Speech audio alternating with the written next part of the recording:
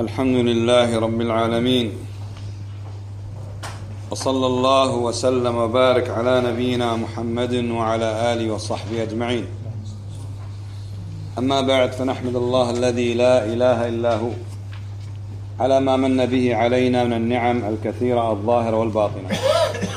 ومن توفيق الله عز وجل أننا ما زلنا في قراءتنا لكتاب الجامع الفريد للأسئلة والأجوبة على كتاب التوحيد للشيخ عبد الله آل جار الله رحمه الله تعالى وجزاه عنا خيرا.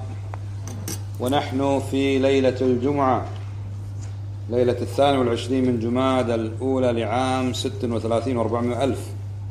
الموافق ليلة الثالث عشر من الشهر الثالث لعام خمس وثلاثين خمسة عشر وألفين.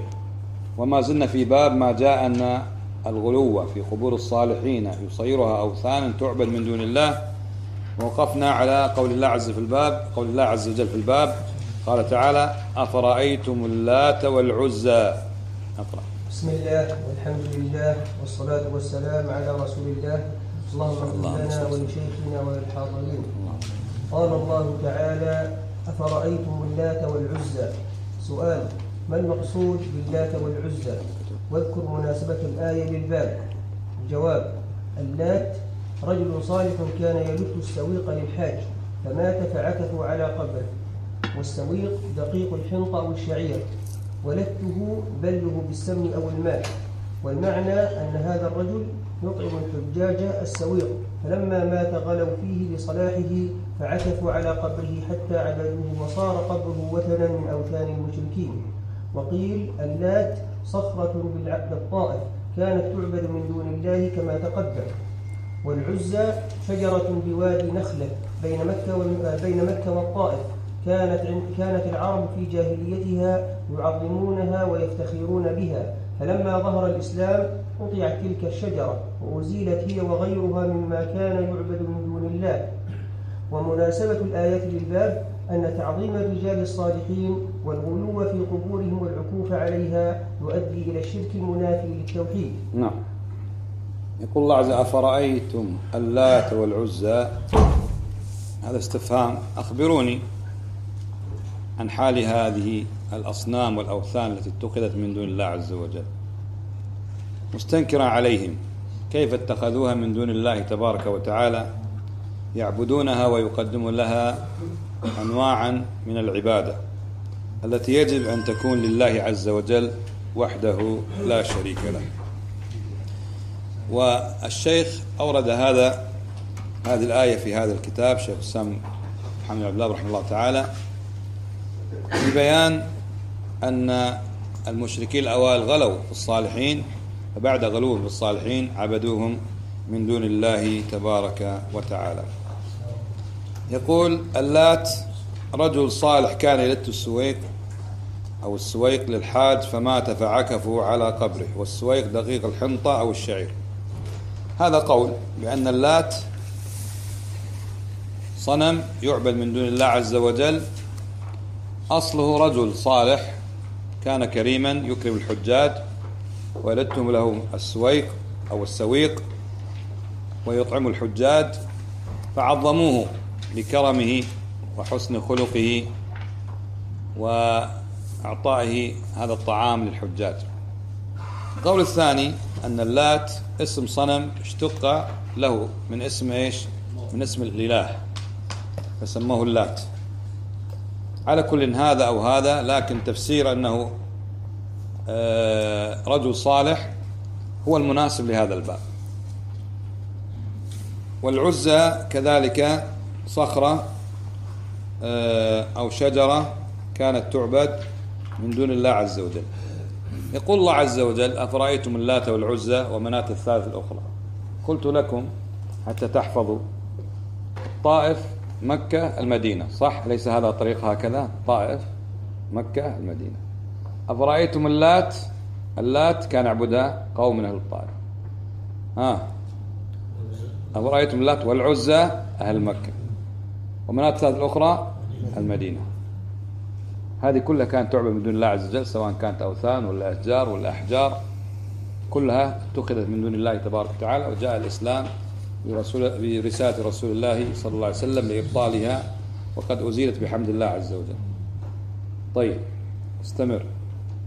قال وعن ابن عباس رضي الله عنهما قال لعن رسول الله صلى الله عليه وسلم زائرات القبور. والمتخذين عليها المساجد والسرج رواه أهل السنن وصححه شيخ الإسلام ابن تيمية والسيوطي نعم. سؤال اذكر حكم زيارة القبور وما يفعل عندها؟ الجواب زيارة القبور حرام على النساء لأنه صلى الله عليه وسلم لعن زائرات القبور. وأما في حق الرجال فهي على نوعين مشروع وممنوع. أما المشروع فهو زيارة القبور على الوجه الشرعي من غير سفر. لأن يزورها المسلم فيدعو لأهلها ويتذكر الآخرة. وأما الممنوع فهو نوعان. الأول شرك أكبر كدعاء أهل القبور والاستغاثة بهم وطلب الحوائج منهم. الثاني وسيلة إلى الشرك كالتمسح بالقبور والصلاة عندها وإسراجها والبناء عليها والغلو فيها وفي أهلها إذا لم يبلغ رتبة العبادة وهذا النوع محرم طيب. يقول النبي صلى الله عليه وسلم في ابن عباس أو يقول ابن عباس رضي الله عنهما لعن رسول الله صلى الله عليه وسلم زائرات القبور. هنا يخبر ابن عباس أن النبي صلى الله عليه وسلم دعا باللعنة على زائرات القبور. هذا الحديث جاء بلفظ لعن رسول الله صلى الله عليه وسلم زوارات القبور. لذلك وقع الخلاف. هل يجوز للنساء أن يزرن المقابر أم لا؟ فمن أهل العلم من قال لا يجوز مطلقا. منهم شيخنا عثيمين رحمة الله عليه. يقول حتى المرأة ما تتقصد إذا وصلت المسجد النبوي أن تذهب إلى قبر النبي عليه الصلاة والسلام. وصاحبيه رضي الله عنهم لهذا الحديث. فلا يجوز مطلقا للنساء أن يزن القبور. وقال بعض العلم من المعاصرين الشيخ الألباني يجوز. والحديث الصحيح الثابت زوارات وزوارات هذه صيغة مبالغة يعني اللاتي يكثرن من الزيارة. فلو زارت أحيانا فلا بأس. فوقع الخلاف هل لا يجوز مطلقا أو يجوز أحيانا؟ والمحظور هو كثرة الزيارة. السلامة من هذا يا شيخ السلامة. عدم الزيارة مطلقا. ولما تزور المرأة وتدخل في مسألة يمكن تدخل في لعنة الله ويمكن لا تدخل؟ لا تزور مطلقا. لا سمع أن النساء أصل المرأة فتنة. وإذا فتح الباب للنساء يعني يزرن المقابر يصحب ذلك شيء من الاختلاط وشيء من التبرد. كما المرأة عرضة للانهيار والنياحة والإغماء وعدم تحمل آه، الموقف. لا شك أن السلامة في مثل هذه المسألة عدم الزيارة مطلقا وهذا الذي ننصح به النساء ثم ما الفائدة من زيارة المرأة للمقبرة تقول لك أدعو له. طيب الدعاء يتوجه به لمن؟ لله عز وجل. أصلا أقرب ما يكون العبد من ربي وهو وهو ساجد يا إخوان حتى لو أن المسلم ما حدد قبر أبيه أو قبر أمه أو قبر قريبه ليس بلازم. المهم أنك تدعو لوالديك تدعو للأموات تدعو للأحياء. الدعاء ذات عبادة. أنت تتعبد الله بالدعاء. ليس بالضرورة أن تذهب وأن تعين قبرا وأن تشيده وأن تضع له علامات وتكتب عليه هذه ستقع في كثير من البدع التي فيها نص في النهي عنها. نص. نص. نهى النبي صلى الله عليه وسلم عن البناء على القبور والكتابة عليه. الميت ينتفع ماذا يا إخوان؟ من الدعاء. والدعاء في أي مكان تدعو الله عز وجل؟ فاقرب ما يكون العبد من ربه وهو ساجد. كلما تذكر والديه أحياء وأموات يدعو لهم. أما ما يفعله كثير من الناس فهذا غلط. ولذلك تجد يكثر هذا أين يا إخوان؟ عند أهل البدع عند الرافضة. تعظيم القبور وتشييدها وإيقاد السرج عليها وغير ذلك. مع أنها فيها حديث وصحيحة وصريحة النهي. فأهل السنة الحمد لله عز وجل هذا من توفيق الله عز وجل يوفق من يشاء. انظروا المقابر في المملكة. بعد قيام الدولة السعودية الثالثة تجد عدد أي قرية تدخلها أي مدينة وأنت مار شوف تجدها متساوية شكلها واحد. حتى قبور الملوك واحد. بل في صور قديمة في الأسود, بالأسود والأبيض كما يقال للبقيع قبل تولي هذه الدولة القائمة اليوم في إيش الحجاز؟ البقيع المقبرة في المدينة. تجد فيها قباب وحاجات وحجر وغرف. هذه كلها يا إخوان إيش؟ جعلوها قاعة صفصف. سووها بالأرض تماما. وجعلوا قبور عادية جدا. فتنة عظيمة القبور. كثير من بني آدم يقع في الشرك الأكبر المخرج من ملة الإسلام الموجب للخلود في النار والحرمان من الجنة مطلقا. بسبب القبور. مع أن الأموات بحاجة الأحياء أكثر من حاجة إيش؟ الأحياء الأموات. ممكن الإنسان يحتاج الميت آثار الميت الذي خلفها. كالعلم مثلا أو المال أو نحو ذلك اللي خلفها. أما بعد ما مات فهو بحاجة ماسة إلى دعاء الأحياء. من البداية منذ أن يموت هو بحاجة إلى من يجرده من ثيابه ويغسله ويكفنه ويحسن إليه.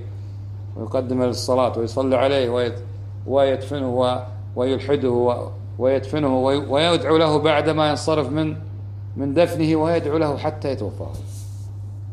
الميت بحاجة إلى الحي. لكن انظر منذ قرون والناس مفتونين في ماذا؟ بالأموات والقبور والصالحين. طيب. يقول ما حكم زيارة القبور وما يفعل؟ عندها زيارة القبور حرام على النساء لأن لأنه صلى الله عليه وسلم لعن زائرات القبور. آه، كما قلت لكم أن الحديث مر بإيش؟ بلفظ زوارات فحمل ذلك بعض العلم على أن المراد الكثرة. لكن حتى الكثرة والقلة هذه قد لا تنضبط. طيب امرأة تزور كل أسبوع تقول لا مو كثير ليس بكثير. لا كثير لا قليل.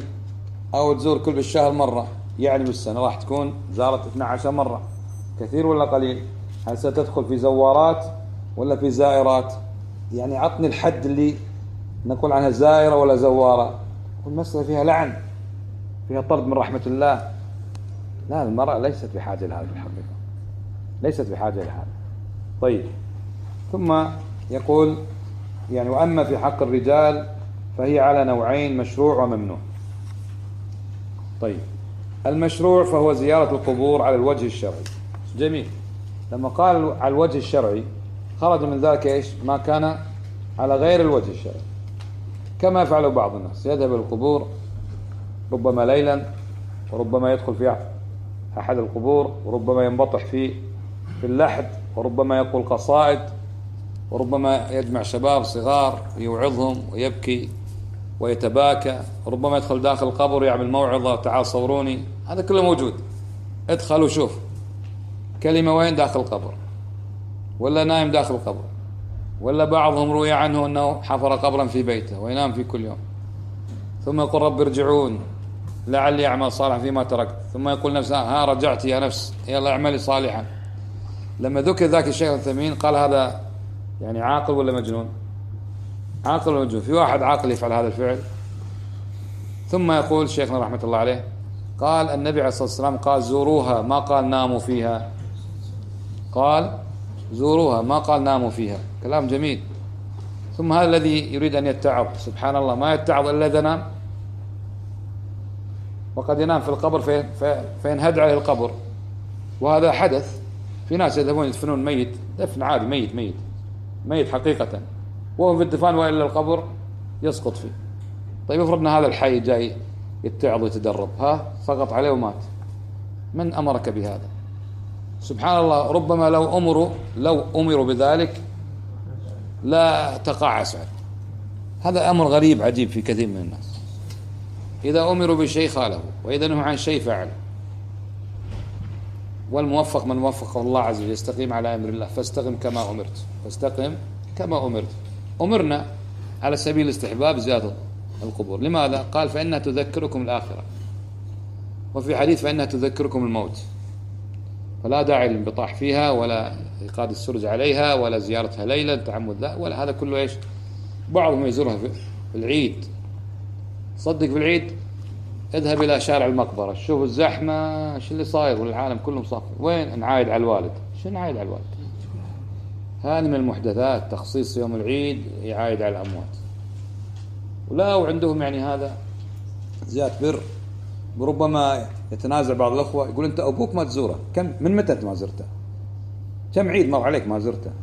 وذاك اللي ما يزور هو على السنة إنه ما زار وهذا يعيره. لماذا ما؟ كم عيد مر عليك ما زرت أبوك؟ لو كان خيرا لسبقونا إليه. ما قال النبي صلى الله عليه وسلم يوم العيد يوم زيارة القبور. ابدا. طيب. آه يقول على الوجه المشروع من غير سفر لأن النبي صلى الله عليه وسلم نهى عن شد عن شد الرحال لغير ثلاث مساجد. يسافر يتعنى ليزور القبر؟ لا. ولذلك أهل السنة نبهوا على أمر مهم جدا. أنك إذا سافرت إلى المدينة فليكن قصدك ماذا؟ أن تزور مسجد الرسول صلى الله عليه وسلم لا قبر الرسول صلى الله عليه وسلم. هذا انظر إلى إلى حالة حامة المسلمين. ها رايح المدينة؟ طيب سلم لي على الرسول. سلم لي على الرسول صلى الله عليه وسلم. الرسول صلى الله عليه وسلم قد وكل الله ملائكة يبلغون السلام أينما كنت ولو في الفضاء. ولو في المحيط ولو في آخر القارات إذا سلمت على رسول الله صلى الله عليه وسلم فإن الله عز وجل قد وكل ملائكة يبلغون سلام أمته إليه صلوات ربه وسلامه عليه. ما في داعي تقول. وذاك الصحابة شو إذا قل لماذا نقول عن الكتاب والسنة وما كان عليه سلف الأمة؟ الصحابة هل كان واحد من اللي بعيد عن المدينة يقول حق واحد سلمني على الرسول؟ لا والله. واللي قال أنهم كافر عن ذلك فليأتي بالبرهان. قل هاتوا برهانكم كنتم كنتم صادقين. فهذا لم يرد أبدا. وأسوأ من ذاك أنه يذهب إلى القبور سواء قبر النبي عليه الصلاة والسلام أو غيره فيدعو من دون الله ويطلب منه العفو والسماح. هذا هذا الشرك بالله عز وجل كما سيبين الشيخ. يقول آه، من غير سفر بأن يزورها, يزورها المسلم فيدعو لأهلها ويتذكر الآخرة. يدعو لأهلها يعني أقل دعاء أن يسلم. السلام دعاء. السلام دعاء. والسلام أمر عظيم عظيم جدا. فالذي يسلم على أخيه المسلم يفعل أشياء أعمال صالحة ليست واحد ولا اثنين ولا ثلاث ولا أربعة أكثر. أول شيء أنه يطيع الله الذي أمر بالسلام. ثانيا يتبع الرسول صلى الله عليه وسلم الذي جاء بهذه السنة. ثالثا هو يذكر الله ولا لا؟ أليس السلام اسم من اسماء الله عز وجل؟ ثالثا. رابعا هو يثبت اسم لله عز وجل أثبت الله نفسه. للسلام ذكر في القرآن مرة واحدة في قوله تعالى والله الذي لا إله إلا هو الملك القدوس. السلام. كم وصلنا خامسا هو يدعو الله. لما يقول السلام عليكم يدعو الله. والدعاء عبادة. الدعاء هو العبادة. سادسا هو يتوسل إلى الله باسمه السلام. ولله الأسماء الحسنى فادعوه بها. فأنت تختار السلام متوسلا إلى الله عز باسمه السلام أن يسلم أخاك المسلم. سابعا هو يتعبد الله بهذا السلام فإذا قال السلام عليكم له عشر حسنات ورحمة الله كم؟ عشرون وبركاته ثلاثون. كم وصلنا؟ ثامنا أنه يعني يؤلف القلوب وتزداد المحبة كما قال النبي صلى الله عليه وسلم لا تدخل جنة حتى تؤمنوا ولا تؤمنوا حتى تحابوا أفلا أدلكم على شيء إذا فعلتم تحابتم أفشوا السلام بينكم. فتحصل المحبة بين المسلمين في السلام. عاشرا إذا حصلت المحبة يحصل الإيمان. الحديث نفسه. لا تدخل لا تدخل الجنة حتى تؤمنوا ولا تؤمنوا حتى تحابوا. أفلا أدلكم على شيء إذا فعلتم تحببتم أفشوا السلام بينكم. كأن ابن عمر يدخل يغدو إلى السوق. يغدو إلى السوق يعني يذهب صباحا ومعه خادمه. فلا يقف على بيع ولا سوء ما يشتري ولا يقول بكم. فقال له خادمه يرحمك الله تغدو السوق لا تقف على بيع ولا سوق. فقال إنما نغدو إلى السوق من أجل السلام. رايحين فقط نسلم. شيء عجيب السلام. كم من إنسان غاضب تدخل عليه تقول السلام عليكم. ها ذهب كثير من غضبه ابدأوا بالسلام. عاشرا ماذا تاسعا السلام هذا يدلك على ماذا؟ على أن ليس في النفس شيء.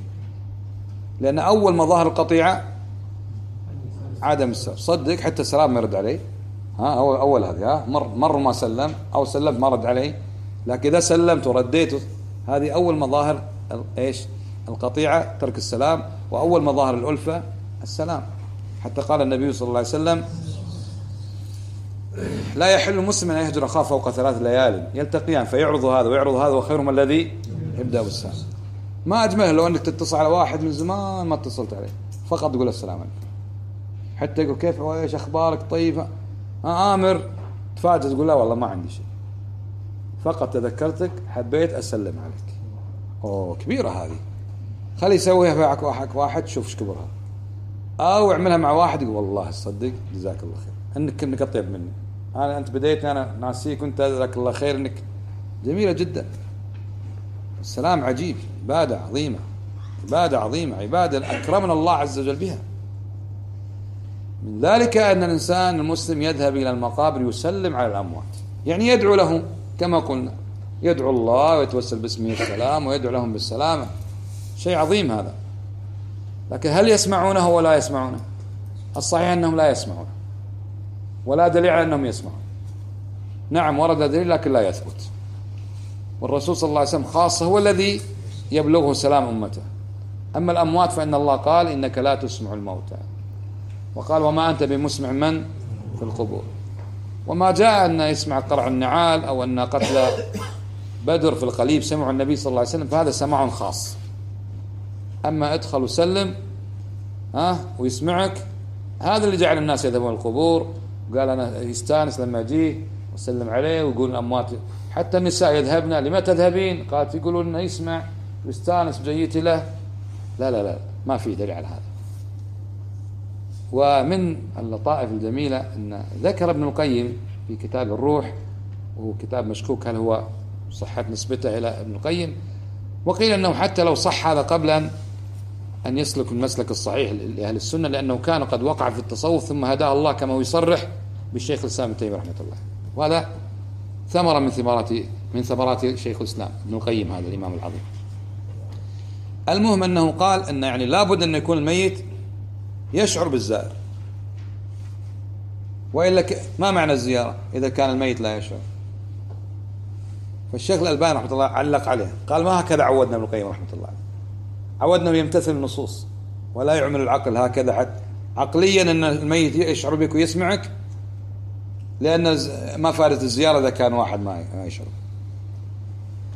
قال هذا عادة ابن القيم نصوص تكلم بالنص. فالمهم قال هذا إذا ثبت عن ابن القيم إنه قال نقول انها يحتاج إلى نص. هذا أمر غيبي إنه يشعر بك أو لا يشعر بك الميت. نحتاج نص إنه يدل على ماذا؟ على أنه يشعر بك. لا على أنك تعللها تقول ما فائدة الزيارة إذا كان إيش؟ إذا كان لا يشعر بك. قال ولذلك نظير هذا هناك من يزار ولا يشعر بك. من؟ الكعبة يا أخوان. الكعبة. الكعبة تزار. أصلا ما معنى العمرة لغه العمرة إيش معنى؟ الزيارة. وسميت العمرة عمرة لأنه واحد يزور بيت الله. وهل تشعر بك؟ ها؟ هل تقول كيف كيف حالك يا كعبة؟ تقول والله بخير الحمد لله. ما تشعر بك. ومع ذلك يشرع زيارتها. فليس بالضرورة أن لأن لأنه يزار فهو يشعر أو يعلم عن زيارة كلا.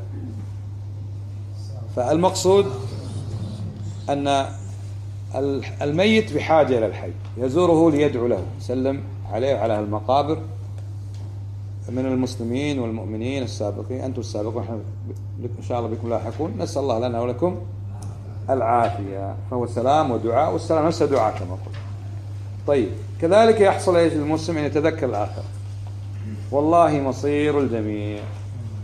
شئت ام أبيت. كل نفس ذائقة الموت.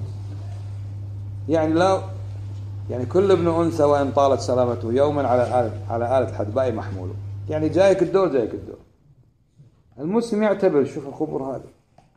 تذكر كلما تقدم في السن كل ما زادوا معارف الأموات. فلان وفلان وفلان وفلان وفلان ها؟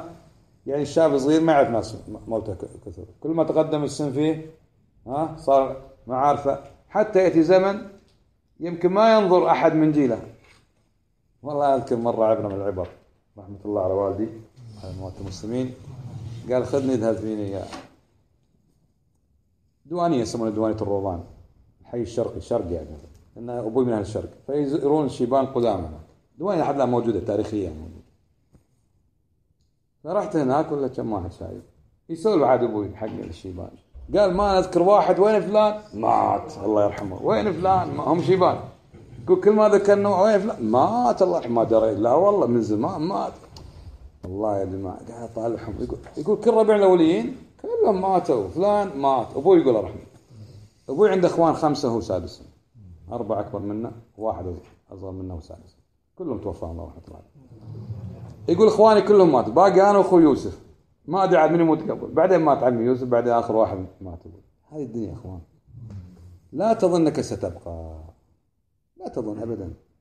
زيارة المقبرة من زيارة اللي تضحك والغشمرة وينكم زمان؟ بعض الناس يدخن وبعض الناس يطلع التلفون يسولف تعال زمان شفنا خلينا نشوفك الليلة. تعال بالشاليه تعال بالمخيم. وينك كنت وين؟ عايش على كيف كيفك تعجب الناس ما يصلح هذا.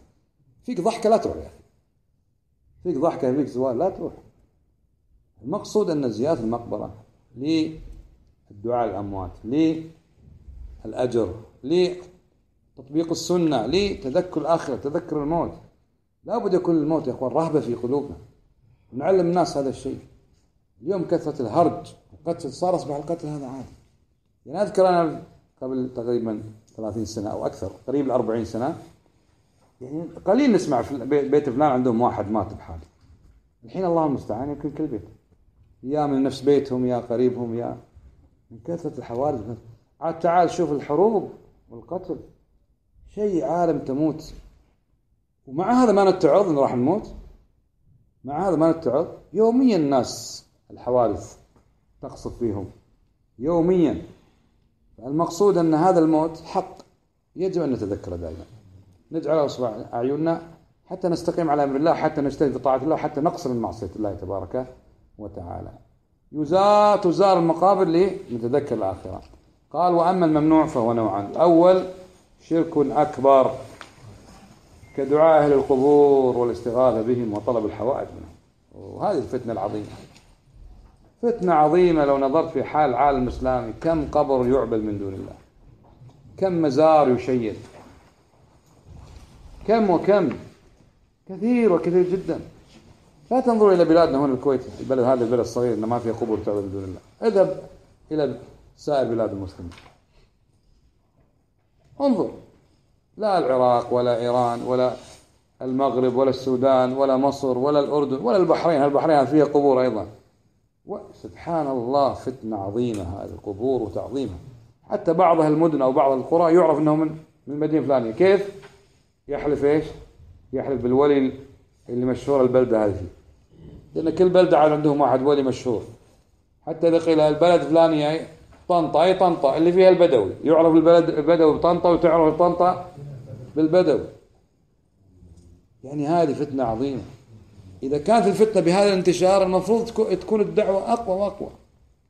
وسمعت مقطع جميل عجيب للشيخ. صالح بن عبد العزيز الشيخ. الله يحفظه ويحفظه الشيخ هذا عجيب والله يبارك فيه. يتكلم عن التوحيد يقول التوحيد ينسى. لا تقول درسنا التوحيد كذا وخلطنا كم مرة بعد نعيد التوحيد. قال التوحيد ينسى. يعني ممكن إنسان يكون موحد مع الزمن ينسى التوحيد.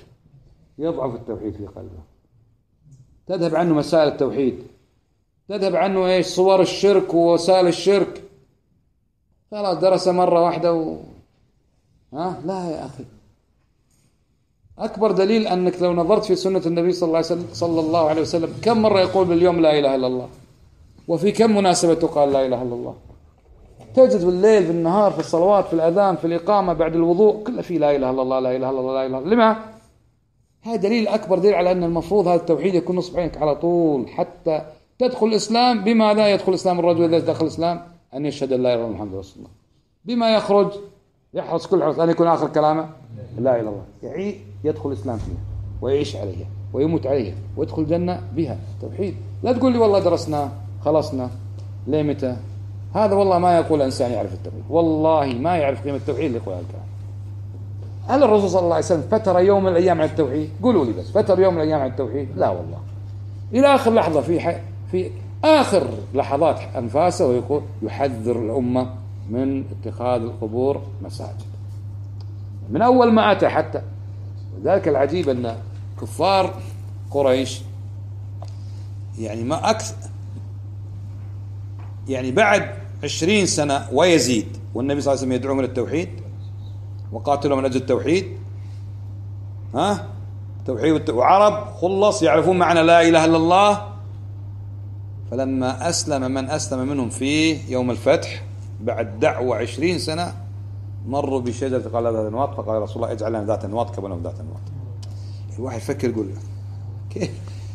وصار لنا 20 سنة إحنا ندعوكم التوحيد. قاتلتونا نجد التوحيد قاتلوا الصحابة نجد التوحيد.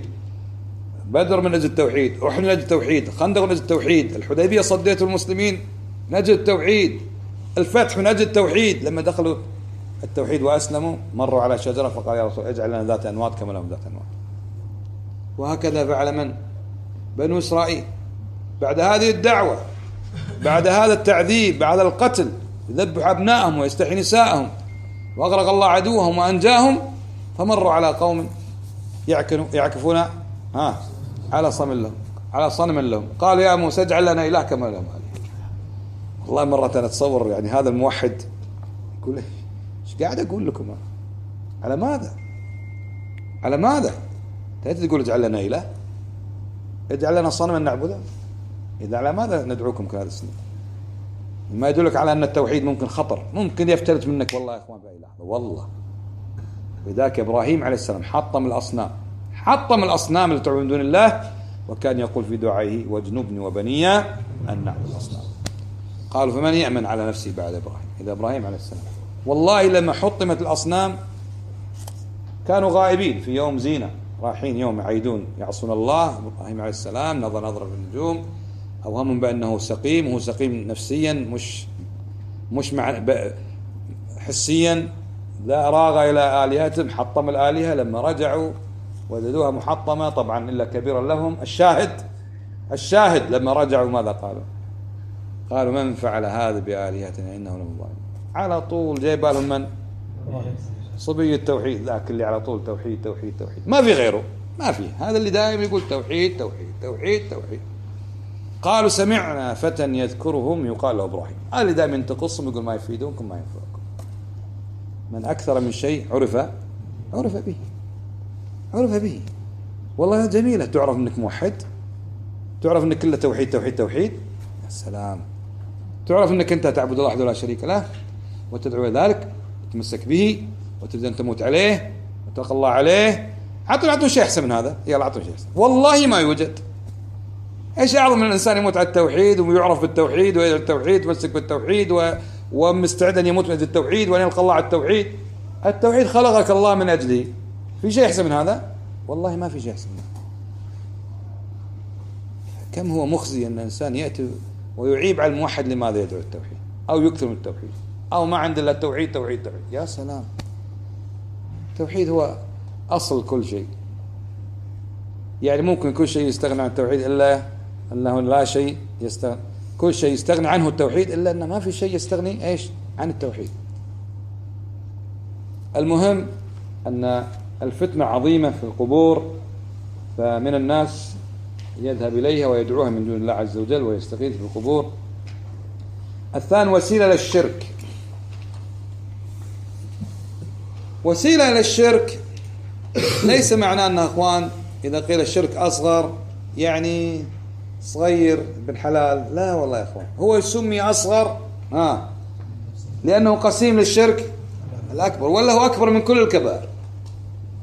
أكبر من الفواحش ما ظهر منها وما بطن. أكبر من عقوق الوالدين. أكبر من قتل الناس بغير حق. أكبر من أكل الربا وأكل مال اليتيم. وإنما سمي أصغر لأنه قسيم الشرك الأكبر. ولذلك من أحسن ما عرف به الشرك الأصغر قيل هو إيش؟ ما كان وسيلة إلى الأكبر. ومن ذلك يقول ما كان وسيلة إلى الشرك. كالتمسح بالقبور والصلاة عندها. شوف الصلاة لله عند القبور وسيلة. وإسراجها لما فيها من التعظيم والبناء عليها والغلو فيها وفي أهلها. إذا لم يبلغ رتبة العبادة يعني لو بلغ رتبة العبادة كان إيش من القسم الأول؟ اللي هو شرك لكن إذا كان وسيلة ما زال ما وصل. فهذا أيضا من الممنوع. يقول هذا النوع محرم. واعلموا بارك الله فيكم أن ما قل ما يوجد وقد لا يوجد لكن خلينا احتياطا. أن هناك من يذهب القبور ويتمسح بها ويطوف بها ويصلي عندها ويدعو الله عندها إلا ويكون نهايته وغايته إيش يا أخوان يقع في الشرك الأكبر. ولا إيش المعنى أنك تروح هناك وتسافر وتكلف نفسك؟ وإذا واجهتم بهذا وقد واجهنا بعضهم. قال لا لأن مثلا إحنا نروح الحسين لأن هناك عند المسجد الحسين في فقراء. أنت جاي 600 كيلو شايل لك جاموس مسمنها عشان يذبحها عند القاهرة عند الحسين عشان الفقراء. يعني بالله عليك في بلدك ماكو فقراء؟ 600 كيلو وانت ماشي ما في فقراء يعني. جاي من أقصى الجنوب إلى القاهرة فالجاموس تقول لي عشان فقراء. هل اسمه ما حاك في الصدر وكرهت أن؟ أن يطعن والله يريد أن يتقرب إلى هذا الولي. بعد لا المشكلة أنه ما في حسين في القاهرة. حقيقي ما في. مكذوب ومع ذلك حتى السجود سجود يسجد له من دون الله. والله واحد صور لي صورة حية. قال شو شو؟ والله يزيد السجود. الله المستعان. والله يقول لك لا على أساس الفقراء. لا والله لا عندك فقراء. بل أن من العقل ومن الذوق ومن الشرع ومن قل ما شئت أنك تطعم ها الفقراء؟ الاقارب اللي جنبك يا أخي راح تكرم ناس ماشي لك 200 400 كيلو 500 كيلو. تارك الناس ما يتجوا عندك أو يكادون. كان ذبحت لهم ووكلتهم شربتهم. هذا كله غلط غلط كبير. كبير جدا. ما كنا صريحين بدعوة التوحيد. ننقذ الناس. لا نجاملهم. لا نخاف منهم. هم يشركون بالله ما يخافون ولا يجاملون. الأسبوع الماضي في الدرس في درسي هذا أحد الأخوة جالس على اليمين قال يوم من الأيام رحت طنطا أبو عبد الله اللي كان جالس يقول في ناس عرس عندهم.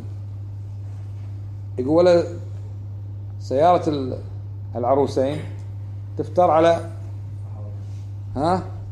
قلت علقة على المزار هذا. ليش قال هذا يعني؟ عشان يتبارك الزواج. مو شرك؟ طيب يلا وسيلة الشرك. هذا شيء عظيم. يا أخي المباركة من الله. حتى يشرع للزوج أن يقال إيش؟ يقال له بارك الله لك وبارك علي. يعني البركة من الله. مش تروح تلف تاخذ لفتين. هذه كلها تتسرب. لأن بعض الناس الآن يقول ليش تدعو التوحيد؟ شايفنا شايف في قبور عندنا تعبد؟ شايف في أصنام تعبد؟ والله يقول هذا الكلام. فالرد عليهم. اليوم يا أخوان الدنيا كما يقال صارت قرية واحدة. ها؟ الناس تسافر. البلد اللي فيها قبور أهلها يسافرون البلد اللي ما فيها ما فيها قبور. والبلد اللي ما فيها قبور أهلها أنتم حسباكم يعني البلد هنا ما فيها قبور الناس ما تسافر القبور؟ والله من يبتلى بصرع ولا جن ولا سحر ولا كذا أعوذ بالله ما يترك شيء. يقول روح بلوشستان راح بلوشستان. والله والله أعرف أعرف ناس أشخاص يقول قال أنا ابتليت بحاجة أولادي والبيت وزوجتي ما خليت شيء. قالوا بلوشستان رحت بلوشستان بالجبال هناك. قالوا لي بعمان رحت عمان. قالوا الأردن رحت الأردن. قالوا أي شيء يقولون من الحاجة اللي أنا أشوفها. يعني لا وذاك لما تحصن بالتوحيد والتوحيد والتوحيد لا تقول ما في قبور ما في أولياء ما في أصنام. الناس أهل أهل البلد اللي ما فيها قبور ها سافرون. وكم من إنسان في بلد ليست فيها قبور؟ أخواله من أهل البلاد فيها قبور. ورايح راك. اليوم ساعتين تروح تسافر قارة ثانية فيها قبور تعبد. ناس إذا إذا حصل ضيق يريد أن يعرف خبر غاب عنه من قتل والدي ولا أين فقدت ابنتي ولا حتى يتزوج فلانة ولا عشان تحمل ابنتها ولا عشان تتزوج بناتها. كل حاجة يعملون. حتى لو قيل لهم ائتونا بأعراضكم والله يذهبون بأعراضهم. والله والله هذا أنا أسمع ناس موحدين يقول الكلام. قال لي واحد في السودان قال والله عندنا في السودان هؤلاء اللي يسمون المشايخ يبلغون درجة شيء ما تسوى. يعني البهايم ما تفعل. قال والله إن الشيخ عندهم يأمرهم أن يفعل بهم اللواط في فيستجيبون له. الشيخ. ويجيبون نسائهم ويعطون نسائهم هذا الشيخ. ويضمن لهم الجنة. يقول شو أنتم كلكم؟ أنتم كلكم مضمون الجنة ما دمتم تتبعوا طريقتي. واحد رأيته أرسلوا لي من السودان مقطع. واحد يناقش ناس موحدين. قال التجاني وعدنا بالجنة كلنا. ليش أنتم ما وعدكم شيخكم بالجنة يطالع الموحدين. ما وعدكم بالجنة لا إحنا شيخنا وعدنا بالجنة. هكذا عندهم يا أخوان. لا تقول لي ما في ما في شرك. يا أخي ما في شرك. ليش إبراهيم عليه السلام يقول وجنبنا وبنينا نعبد الاصنام هل نحن حققنا التوحيد أكثر من إبراهيم عليه السلام؟ لا والله. وين وين أين نحن؟ هذا إمام الموحدين. حنيفا مسلما وما كان مشرك رب العالمين زكاه. هذا أبو الأنبياء وإمام الحنفاء. قدوة أمة. إن إبراهيم كان أمة اتخذوه أمة التوحيد والجهاد وحط تحطيم الأصنام والإخلاص لله. حتى أمر الله أن يذبح ابنه فاستجاب. أمر الله أن يضع زوجته وابنه الرضيع في مكة في وادي غير زق فاستجاب. حتى شهد له رب العالمين فقال وإذ ابتلى إبراهيم ربه بكلمات فأتمهن. ومع ذلك يقول واجنبنا بني أن نعبد الأصنام. وإحنا نقول ليش توحيد؟ توحيد. ولا ما عندنا في بلادنا. قبور لا يا أخي. القبور موجودة في كل مكان. وأهل بلاد القبور يفدون إلينا ونفد إليهم ونصاهرهم ويصاهروننا. ووسائل الإعلام. اليوم حتى الأفلام حتى التمثيليات حتى يقلدون يقلدون لك الأدوار الواقعية ويجيبون الشرك ويجيبون التبرك ويشعلون البخور والناس تشاهدهم عوام الناس ويتأثرون فيهم. ويمثلون. هذا كله موجود يا إخوان. الغرب لما ضعف عندهم لما ضعف عندهم اللجوء إلى الكنائس وكفروا بالكنائس وتوجهوا إلى العلمنة وتركوا الدين أخذوا يشيعون عندهم أن اللي يعلق الصليب ما تأتي الارواح الشريرة. مهما يفسد مهما يفجر علق الصليب عشان الأرواح الشريرة. ويعمقدون أفلام وقصص قصة كاملة ولا فيلم كامل إن هذا نسى الصليب كان تجي الارواح الشريره علق الصليب فراحت الارواح الشريره كلها حتى يتعلق بغير الله. وتظنون ما في مسلمين يعلقون؟ إيش رأيكم في ناس مسلمين يعلقون شيء ما يدرون إيش داخله؟ هو صليب هو غائط هو حشرات هو صلبان هو طقوس هو طلاسم. علق بس خذ. وهذا شرك. ومع ذاك لو تفحص المسلمين تجد اللي في رقبته اللي في عضله تحت مخدته واللي واللي والله غزو. غزو على التوحيد. ما دائما إحنا بس ندافع يا إخوان نحتاج حتى نهجم. به التوحيد. الله هذا عطس خرب خرب علينا الأفكار. يلا مشكلة رحمك الله من اللي عطس؟ رحمك الله بس خوش صبغة ما ارتفع ضغطي أنا الظاهر. شغل المروحة شوي.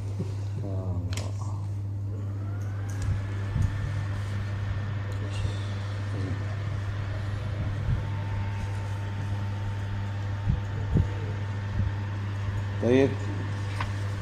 كمل الباب شوي تعبت أنا؟ كمل الباب سؤال. ما معنى اتخاذ السرج على القبور وما حكمه؟ الجواب معناه إضاءتها بالمصابيح وهو محرم. لأن فيه إضاعة للمال في غير فائدة وإفراطا في تعظيم القبور أشبه تعظيم الأصنام وهو من الكبائر الملعون فاعله. والله أعلم. طيب. نكتب القدر